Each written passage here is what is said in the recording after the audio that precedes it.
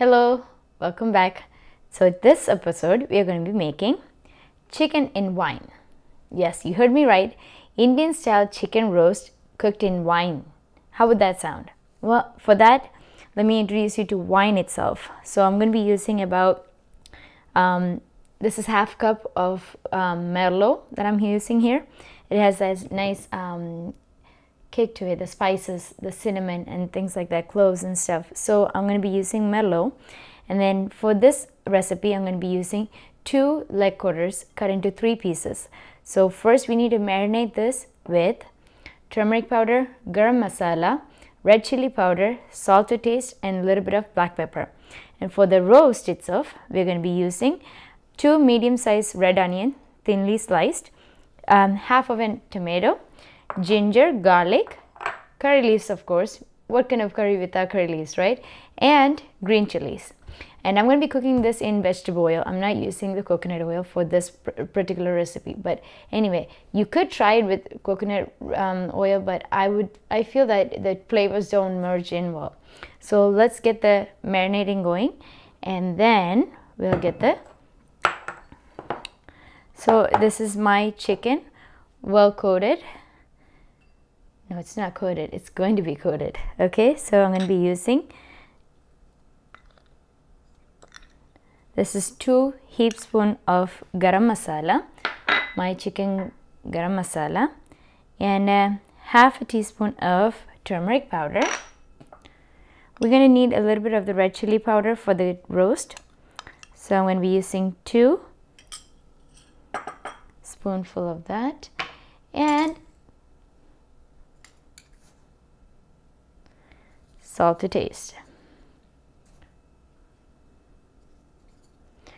It'd be best if you can keep this in the fridge for maybe 30 to 45 minutes. Um, if you marinate overnight also, it's best. But since I don't have that much time, this would do. I'm going to marinate it. And in the meantime, I'm going to be sauteing my um, onions, green chili, green ginger and garlic by that time this guy will be ready. So we're going to be pan frying this not not deep fry shallow fry our chicken. And then into that same pan we're going to saute our roast okay? So let me marinate this and come back. There you go. I marinated my chicken and it's been 30 minutes. So let's start cooking process and we'll take it one at a time okay? Come on over now like I mentioned this is going to be shallow fry so let's start our cooking process. This is I'm using a non-stick skillet.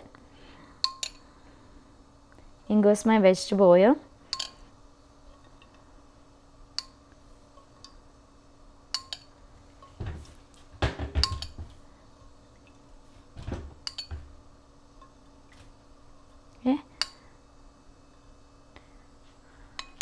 So that's the same oil that I'm going to be using to saute my vegetables as well. So just going to coat the bottom of this pan. Let's place our chicken one at a time.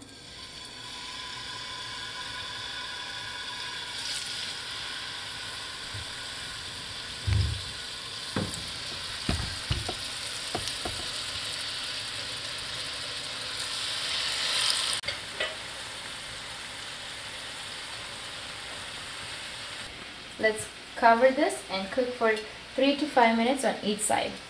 Check occasionally, okay? You don't want it to stick to the bottom. I'm just cooking 3 to 5 minutes on each side so that once my uh, vegetables are cooking, I'm going to put it back in there and it's going to cook even longer. So I don't want to overcook the chicken. That's why I said 3 to 5 minutes depending on how big your chicken is. This is with bone, so it will take about 3 to 5 minutes on each side. Perfect.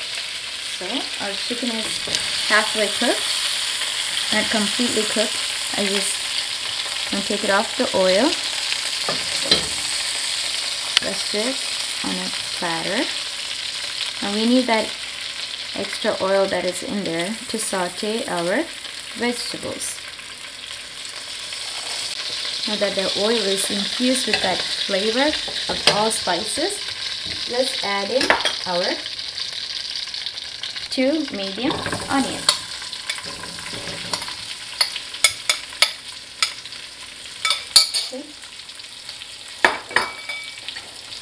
Next goes in our few green chilies. Now this is regular green chilies. It's not Thai or um, any special for that matter.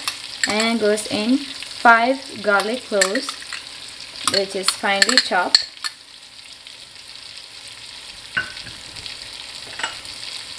And one tablespoon of ginger.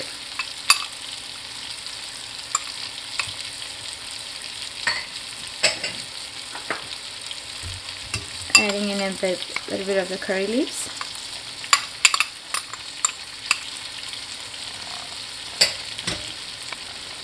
Now let's give it a good mix.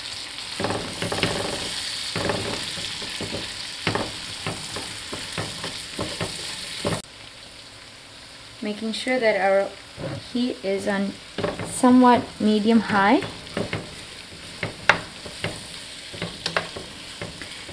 I wouldn't add salt at this state uh, right now because already there's uh, salt marinated in that chicken. So this oil is already infused with all that flavor. We're just going to be sauteing all this. And then once we this is well sauteed well when you add the tomato is when you're going to add the uh, salt our onion ginger garlic green chilies and curry leaves are well sauteed you could check your salt at this um, stage and see if you need more. Mine is perfect. I'm not going to add anything else. Now goes in my half of it uh, thinly sliced tomato. You could also use our chicken broth if you wish to. It's all good. And one spoonful of red chili powder.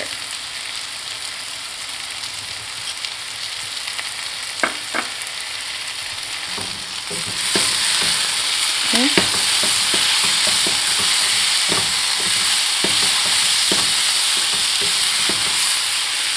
Into this mix, we are going to lay our chicken that we shallow fried. Like I mentioned, this is two leg quarters which I've cut up. So each leg quarter I've cut up into three equal size.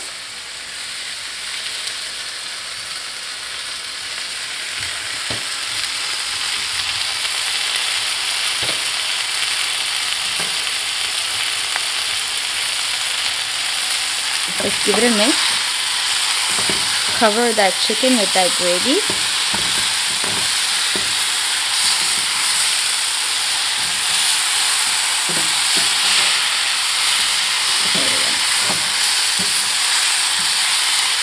This is rich in flavor. This is a perfect recipe for a holiday.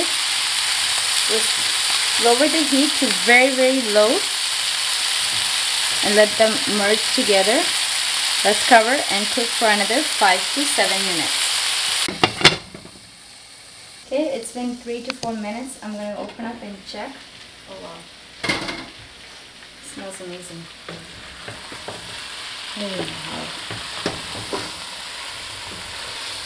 When you're stirring, you can feel that softness. Okay, now what I'm going to do now is pour in this half glass of um, wine, half cup of wine. Let's turn up our heat and let this chicken cook in this red wine.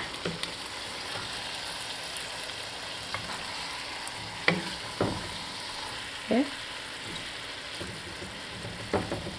I don't want to disturb it. Let, let that sit. Let that simmer in that red wine and then we'll check back cover and check back up. Let me check back in three to four minutes. It's been three minutes. Let's see.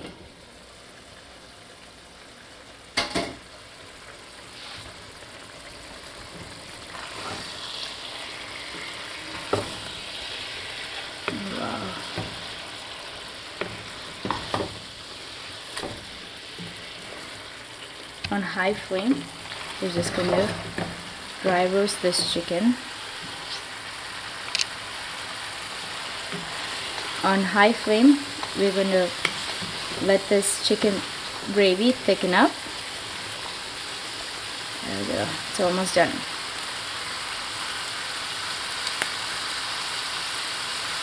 This would be a great complement with rice chapati or even paratha or even bhatura our chicken gravy is nice and thick. That wine absorbed all that or the chicken just absorbed all that wine and the spices. And if you notice I only added a little bit of the garam masala um, because wine already has a little bit of um, kick to it meaning the cinnamon flavor the cloves flavor that kind of stuff so I didn't want to empower my chicken with all that flavor so I just minimized my marination when I was marinating the chicken the garam masala with few uh, sm small spoonful um, I think I said two right were you taking notes?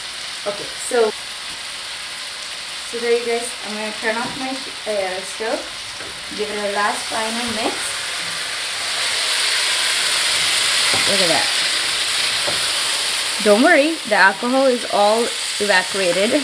It's just that flavors of that wine and the spices all in. Now let's plate this. This is a great compliment with chapati, puri, bhatura, paratha or even fried rice. Um, if you this is like for I don't make this every often. I do this for special occasions such as you know holidays, Christmas, whatever. So try this recipe out. Let me know how it is, how it comes out for you. For this uh, recipe, I did not use coriander of any sort. Um, I'm not going to be using coriander powder or cilantro uh, it's just that I feel those two doesn't mix well the wine and the coriander powder or the mint um, uh, cilantro doesn't mix well with this wine recipe. So I just left that out but rest is all good to go. Let's plate this and see how it looks like. There you have it. Our special chicken in red wine is ready. Now this you should give it a try. You really should. I mean this is an Indian spicy chicken roast cooked in that red wine. Absorbed all that flavor into the chicken it's nice and soft and chewy. Oh okay. Anyway like I mentioned I'm having this I'm serving this with puri. Um, you could serve this with paratha bread fried rice uh, chapati anything anything that you want. Um, I thoroughly enjoyed it. I hope you did. Uh, stay tuned for more videos on Curry TV thank you so much for your love and support. I'll see you next time Thank you.